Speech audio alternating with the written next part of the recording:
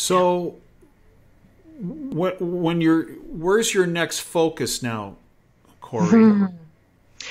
I'm going to be going back to something else I came across when I was researching Zorro Ranch. I found some interesting connections in uh, New Mexico that I need to explore further that may or may not even tie in. I'm sure in some way it probably would tie back into Epstein, but it, that I'm concerned about because it it has to do with um, the potential of children being taken.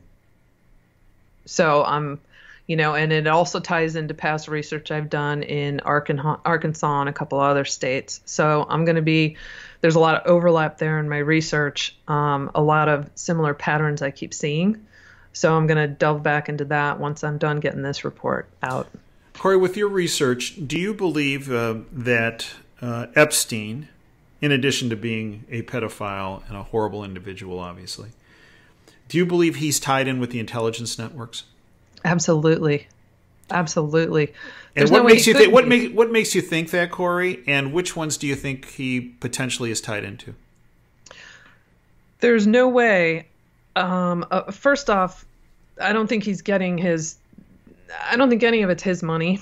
I mm-hmm. think he's a he's a player. He's a mm-hmm. middleman. They that goes where he needs to go to perform this blackmail or that blackmail or that you know, maybe even some drug drug running in there. God knows what else. We already know about the pedophilia. Um, I think that there's a chance that you know, from what I'm seeing with defense related people around him, that it's some form of deep state CIA connection, possibly.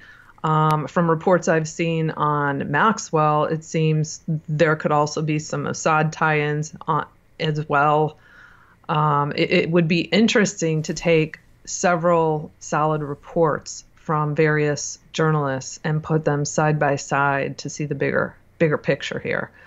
Um, but there's there's look, I don't I don't think it's a typical thing for an individual to be able to get, and maybe I'm wrong, but to be able to get private comms, get a microwave radio set up on a tower right alongside major telecommunications companies. Well, I don't know. Maybe maybe that's just rented space and you can get a license and anyone can do that. I don't know. But then the company goes under and they they run that under a company no one's even ever heard of before, which I honestly couldn't find anything on the background of VT&T LLC. It was probably set up just for the purposes of getting those comms in place. So well, I can tell yeah, you this, Corey. Our, our radio station, WAAM Talk 1600, where I do my Sunday broadcast, is an AM station, and they ju- they just got approval for an FM station as well. And I can tell you the years it took years.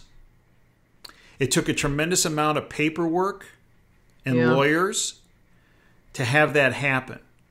Mm, interesting. So, so, to for him to have his and, and and and of course you know there had been all this documentation about serving the public and all this kind of stuff with you know and, and it's a very similar kind of construct with the microwave towers and all the other stuff you know doors had to be open for epstein mm-hmm. for him to have his own i mean beyond doors being opened Right. I, I mean, you know, the the the the the um, bureaucracy to get something like this through is enormous. Now, he, as you said, his land there is surrounded by oh, the former Attorney General of of New Mexico, the entire King family, who are the largest landowners, I believe, in the United States.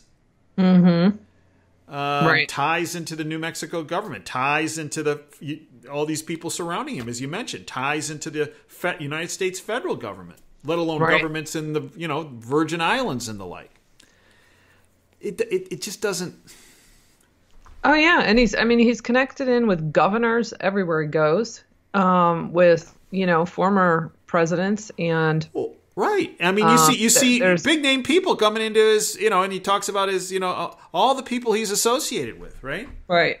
Right so yeah, there's there's definitely a much bigger picture going on, and um, well, geez, they just they pushed his uh, trial back like 10 to 13 months because they have 1 million pages they have to get through, right? Yeah, right. What's in those 1 million pages, I wonder? Well, and there was also some uh, in, information out there recently that there were 2,000 pages that were going to be released in the near future, right? Yeah. When did when's that going to happen? That that was about a month and a half ago, I think. Yeah, yeah, about a, yeah, around a month ago. And and here we are, and it yeah. hasn't been released. Right. Yeah. So, but uh, there's definitely just just like with the Clintons, you know, there's major cover-ups going down. Um, major people covering for one another, uh, shell companies, fronts. So no one goes to those lengths Right. unless they have a lot to hide. Well, and in fact, there was some information out that showed that the Disney Cruise Line, mm-hmm. one of their mm-hmm. stops was in St. Thomas, and one of their excursions was to Little St. James Island for snorkeling. Yeah, I heard that. I heard that. I have not di- dived into that though. Now, now, that's not saying that any kid that went there didn't come back. You know, I'm not. We're not right. saying that. But right. however, there had to be some transfer of money from right. Disney to Epstein, the owner of that island, for them to utilize his one land, yeah, his offshore experience, whatever it is. And was he there? Right. well, no. I mean, it's it's it's very very strange. It is, and and you know, just real quick, I didn't I didn't explore this further, but I just this is kind of interesting too, and maybe you've heard something about this.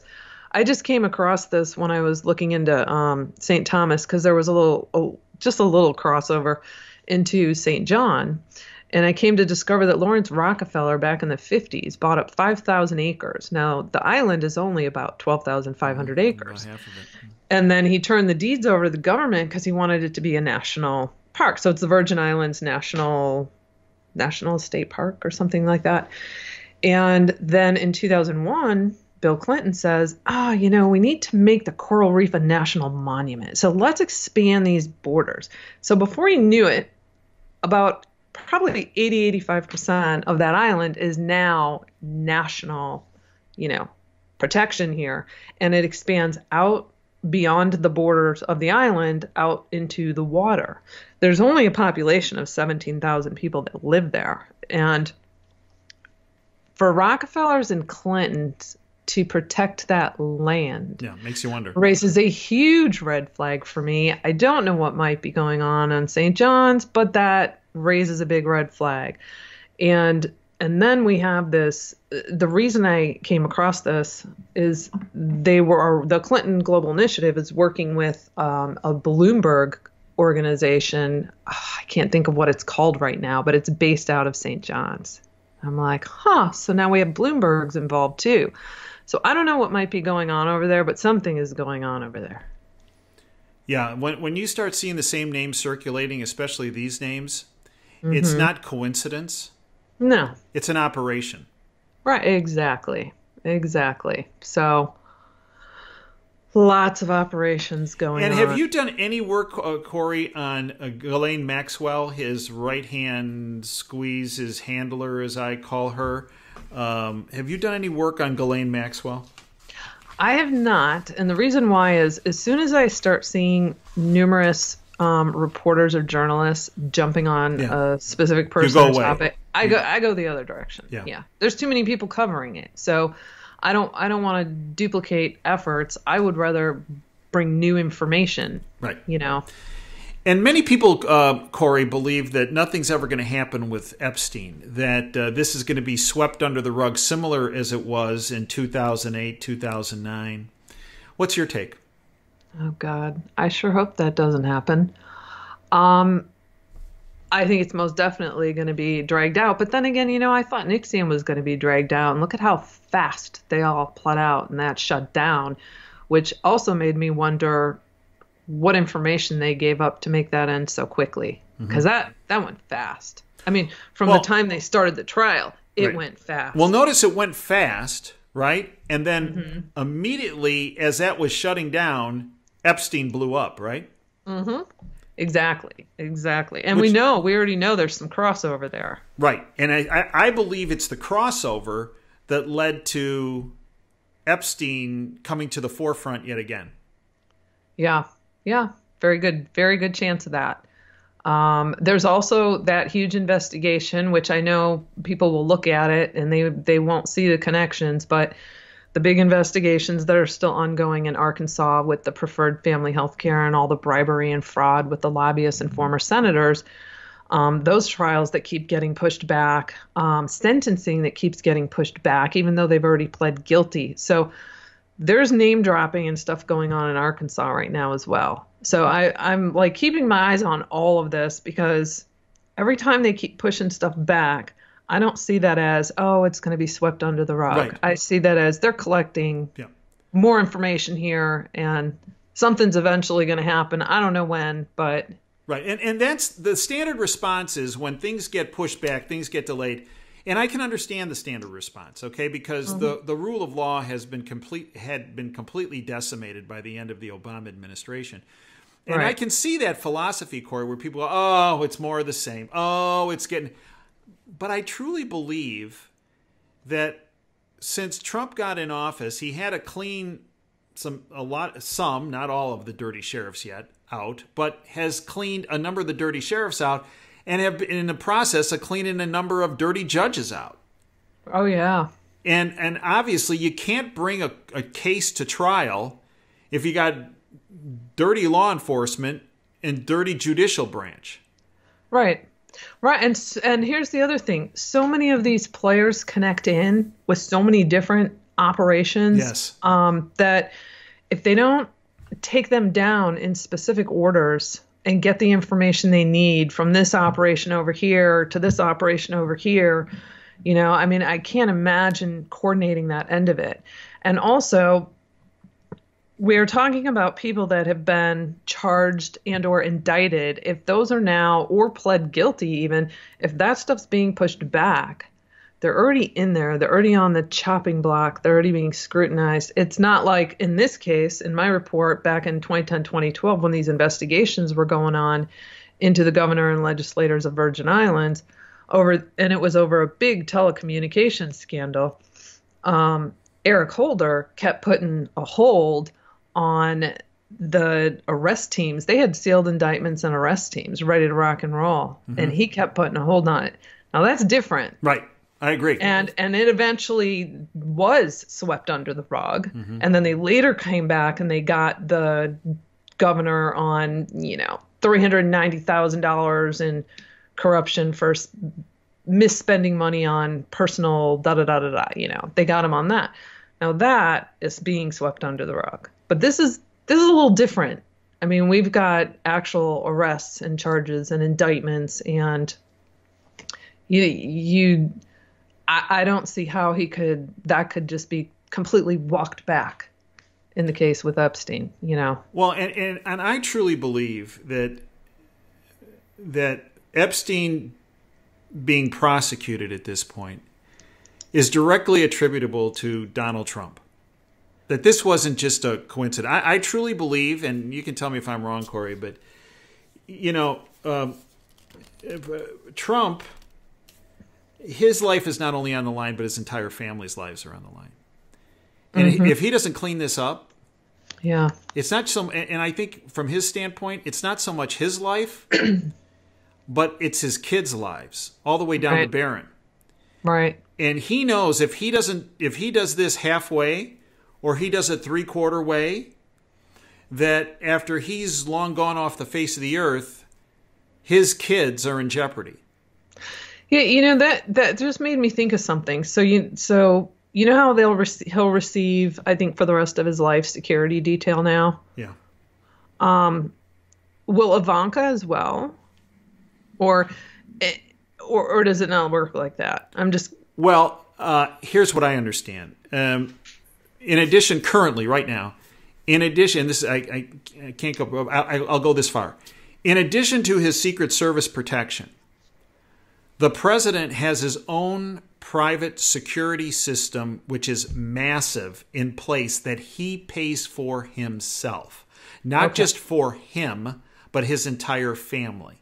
Right. And it's my understanding that security force will be in place for the Ever. lives of his children and family. Yeah. Yeah. Okay. So so he's not just protected by the standard secret service Right. contingent, which they're they're fine, they're good. Right. But there's an entire another very deep, very efficient layer of protection around him.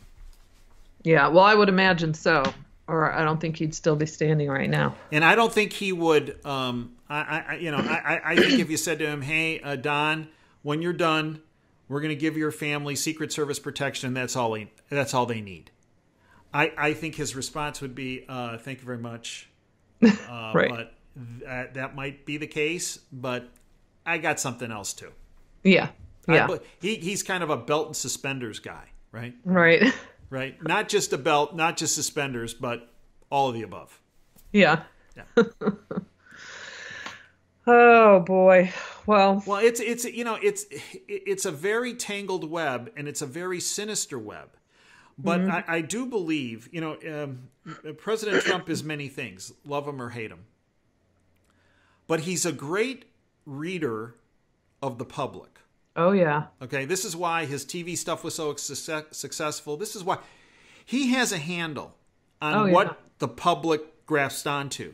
And I believe this Epstein issue is not just a coincidence.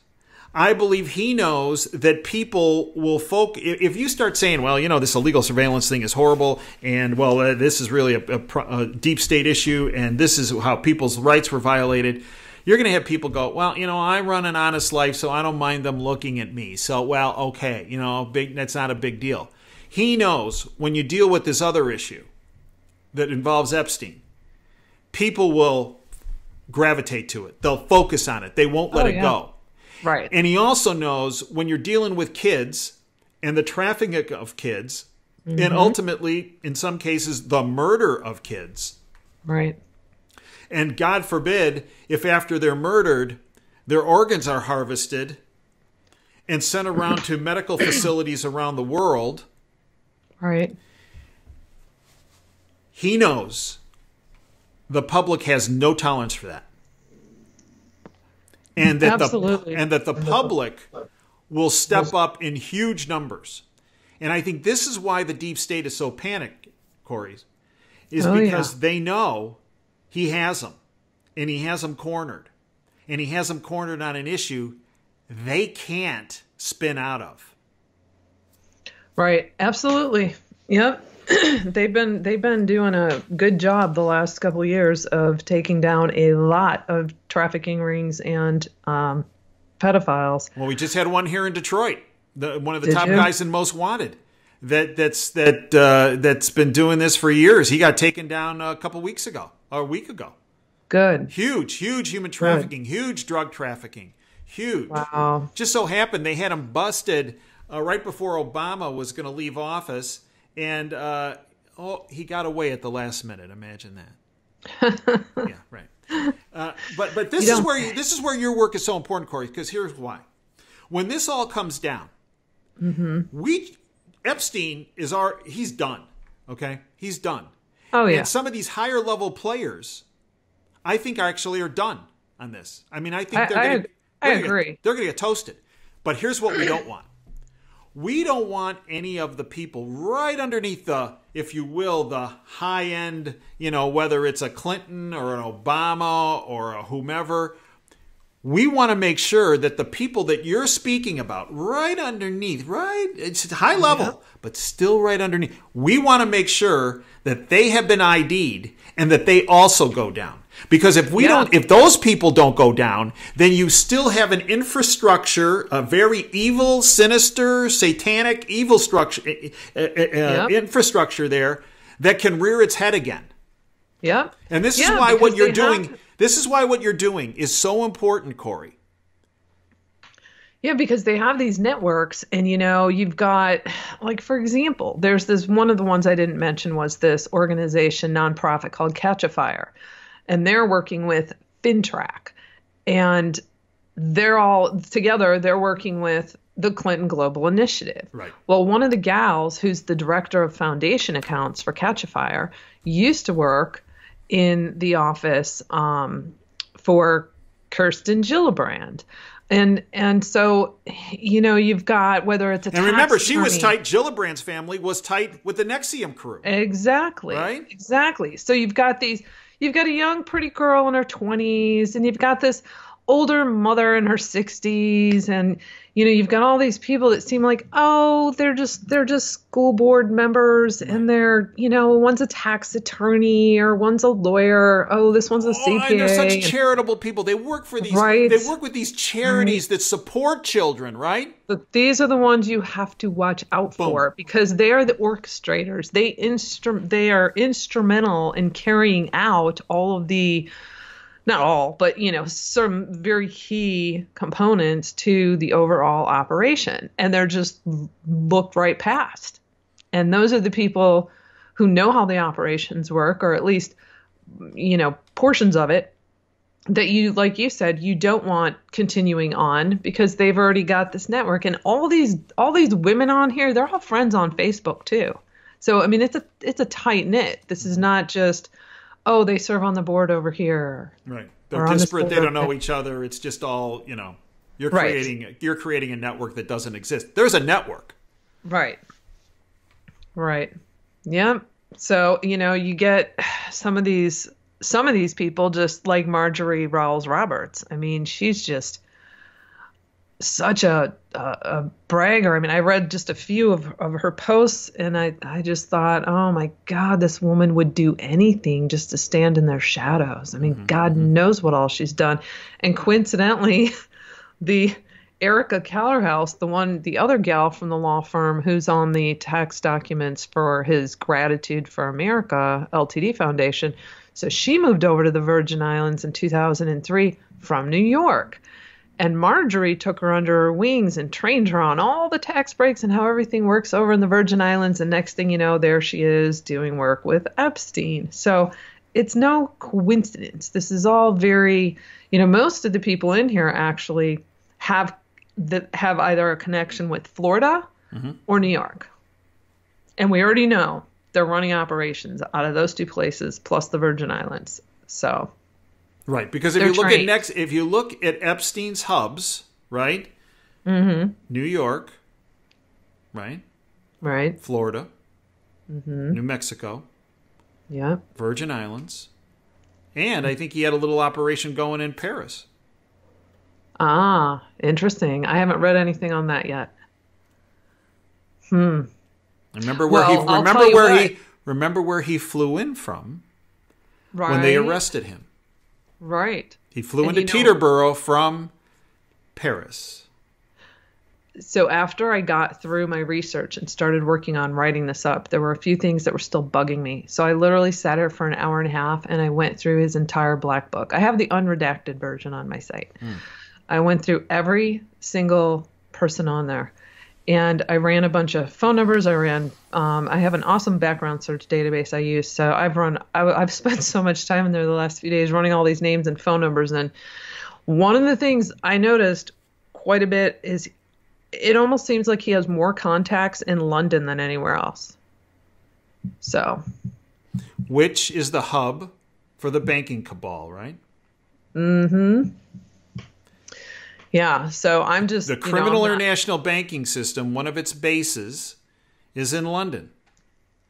Hmm. In addition to Basel, Switzerland. Right. Yeah. Oh, and that's the other thing. There's a couple of gals here, like Pamela Burkowski, for example, the Clinton appointee, and there was another one in here. I can't think of which one um, that had done some schooling over in Geneva, Switzerland. I can't think of. Do you know what what that might have been? It, it's I'm sure it's some famous university or school over there um, in Geneva, Switzerland. But you know, I mean that's that's a hub. Oh no, through the Swiss banking system, right? Yeah, well, not only that, you've got you've got uh, Bill Gates, the Global Fund, and Gavi, and um, oh, what's the one he's right next to over there? Not not the Who, but there's another one health related. Anyways, it's it's like a huge complex campus over there where they're all just boom doing lunch together. Right. Yeah. And God knows what else together. Uh, right. Corey. Yeah. Folks need to support you. They need to follow you. How can they support you and how can they follow you? Because they need to do that. So they can follow me on coreysdigs.com. C O R E Y S D I G S.com.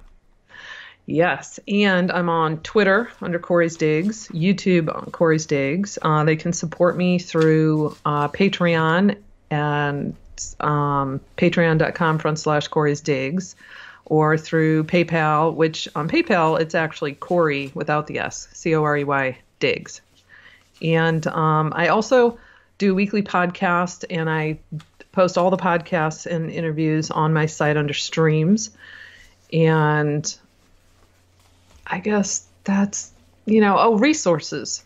So anyone who wants to learn how to use discernment, I've written articles on it.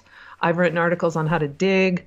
There's also, I have a huge, I have over 80 resources on my site. I have files. Um, I have Epstein logs and, and um, flight logs and black book and indictment and testimonies from Spygate. I mean, tons of declassified docs. So if you're looking to fact check, and I have an awesome background search database on there and some other great tools. And, and most of it's open source, you know, free. Mm-hmm. Um, the sources that I have on there. So I highly recommend people start doing their own fact checking and, um, you know, learning to, to use more discernment and not just trust what others are saying. Corey, last question. Uh, you've done a, a lot of digging on this issue.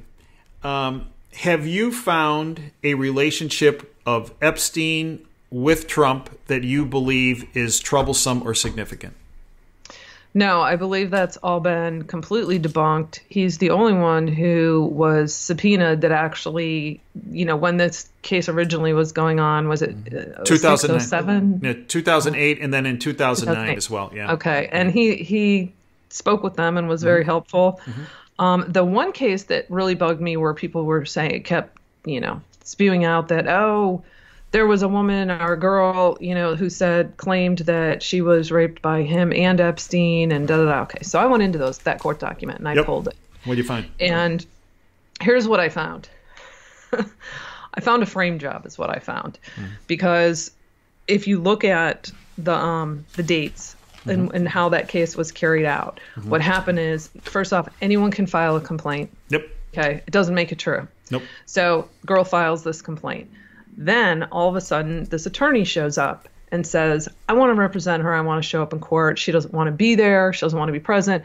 Okay, fill out all these documents. He fills out the documents wrong. Now he's an attorney. Okay? Right. So he fills them out wrong. Court gets back to him, says, You need to resubmit these.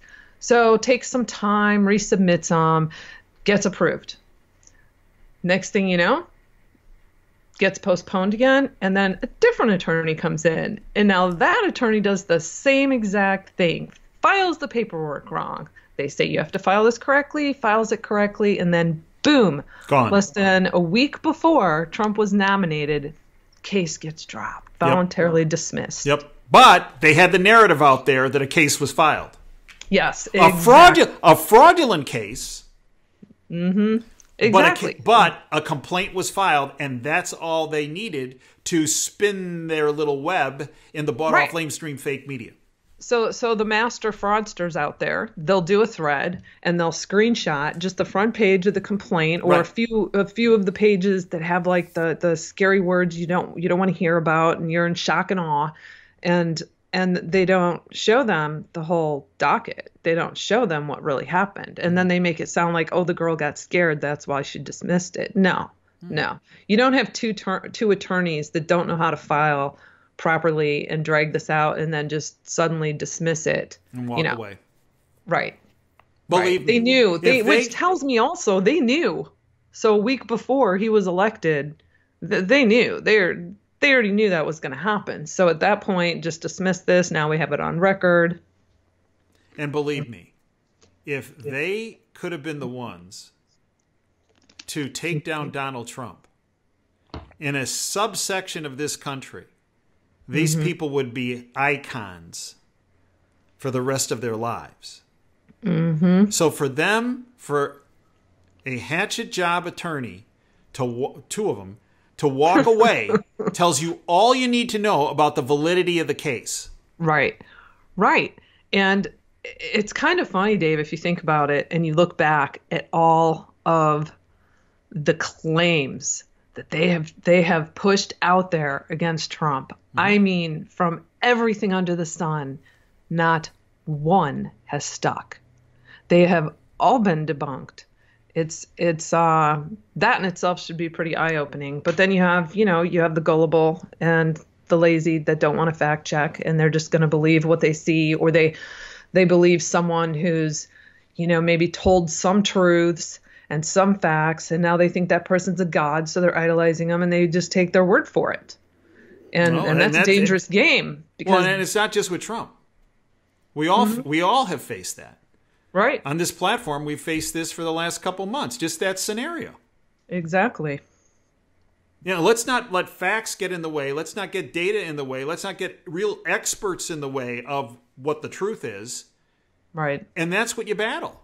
And, it, and yeah. it's and it's tough. And and and it, and it's the business model of the deep state. It is it, the business model. That's that's perfect. I'm right? trying to think of what um it's their business model and how they take down reputable people that are trying to educate and the empower the public. Yes. There was an article I did called um, Normalization, Indoctrination, and Degenderization. I highly recommend people it's great. reading. Yeah, it is. Thank you. And um, there's um, I can't you'll know his name that that um, was from Russia that's spoken numerous times. He was like a former spy, and he's oh, he's um, uh, I can't think yeah, of his I'm name. Even if I could have known me, I right. I have a clip of him in there. It's it's only like 13 minutes, but there's much much longer ones available on YouTube, and it's he explains the the four step process yeah. of of taking you know a society down and how it works and the demoralization and the normalization and um, where they get to the point um, where they destabilize, mm-hmm. and um, and, and we're we're on we're seeing this. You know, we're there. We're seeing this, and so people need to realize that, like you said, this is a model. Mm-hmm. You've got some people out there that seem really smart, really savvy. They start providing information that that is in line with what we know to be truth. Mm-hmm. And so 80 to 90% of what they're putting out there is truth. They get you under their wing, they build their little army, and then all of a sudden, months later, they start flipping mm-hmm. on journalists that are doing solid factual reporting and they try to take them out and cut them off the knees. And people fall for it because now they've built up a level of trust. Yep. And people need to be very careful with that because if you start just believing hearsay and what someone's saying without any proof or evidence to back it, that's that's a red flag. Yep. If they all of a sudden stop providing that proof, there's a reason for that. So people need to pay attention to that. Ding ding ding. Corey Diggs. I'd like to thank you, Corey Lynn, for everything you have done, are doing, and will do. You are an incredibly precious resource that the freedom movement is honored to have and is lucky to have. And I thank you, Corey, because you put a tremendous amount of time and effort into this.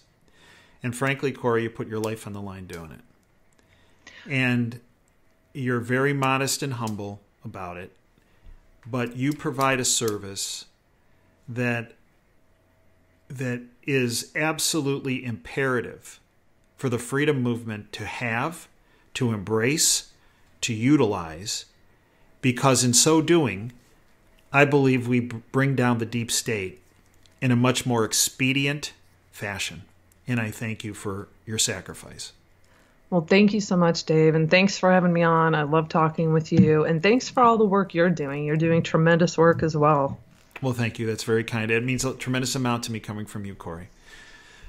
It, it, it means a tremendous amount because I have the utmost respect for you and what you do.